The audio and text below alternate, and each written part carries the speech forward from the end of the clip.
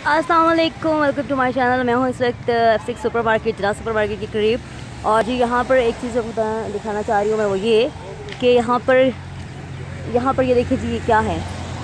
ये वज़ी अजम प्रोग्राम है तो जिस पर ये देखें।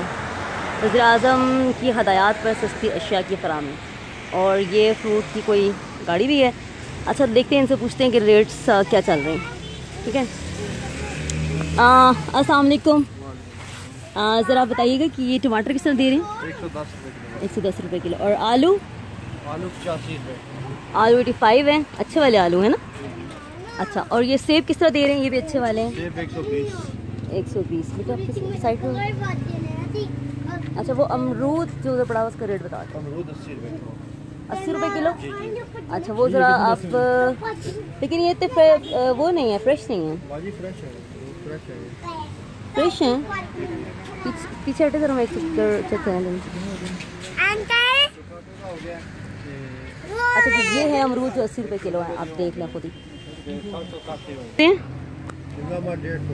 अच्छा जी, ये शिमला मिर्च है, ये आप देख सकते हैं, जो कि डेढ़ सौ रुपये किलो है।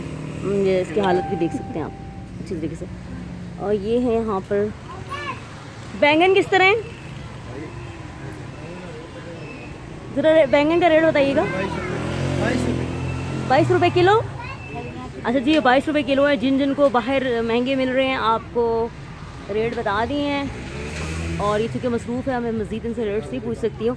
बहरहाल ये एफ़ सिक्स में।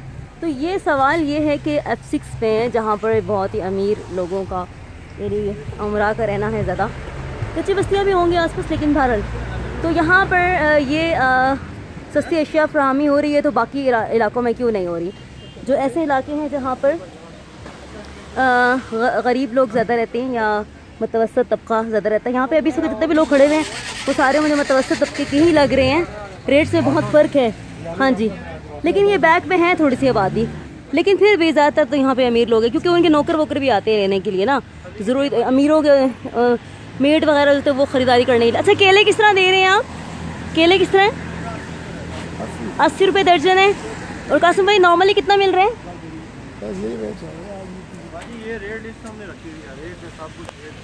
नहीं नहीं, हम लोग यहाँ पर, मैं जो कवरेज कर रही हूँ ये कि सस्ती अशिया की फराहमी जो आपके यहाँ पर लिख के लगाया है वज़ी अजम की तरफ़ से। तो ये है सस्ती अशिया का रेट तो आप अपने रेट से इसको कंपेयर करें और फिर राय दीजिएगा कि क्या ये चीज़ें सस्ती हैं या कि बस वही रेट है जो कि मार्केट में चल रहा है। ठीक है? नेक्स्ट प्रोग्राम में फिर हाजिर होंगे इन तब तक के लिए अल्लाह हाफिज़।